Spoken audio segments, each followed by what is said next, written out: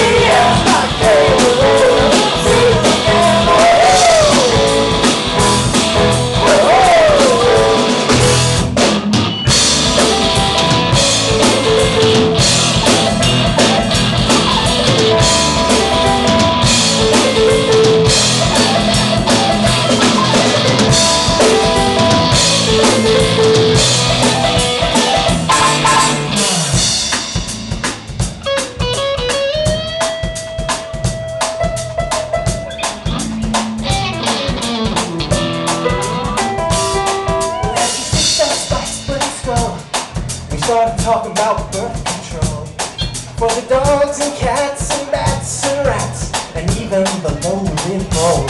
Well, I